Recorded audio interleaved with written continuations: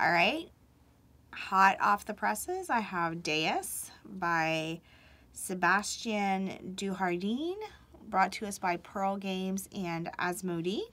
Let's open it up and see what we have. It's currently rated number one on Board Game Geek list. Uh, looks like we're going to be from the ancient past and trying to keep favor with the gods and doing some exploration. So, um, right off the bat, uh, okay, first thing right off the bat, numbered cardboard, what I should punch in order. That is really nice. Um, brightly colored, everything looks great. So I've got four sheets of those coming out. I have a roll book, not super thick, so that's pretty cool. Not going to get bogged down for a long time reading.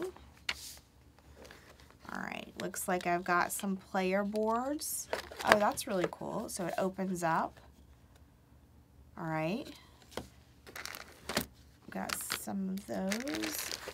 Looks like I've got a bunch of meeple type items, wooden pieces, houses, stuff like that.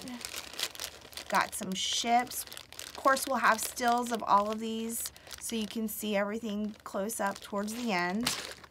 Another player board, extra bags, such a nice thing to include.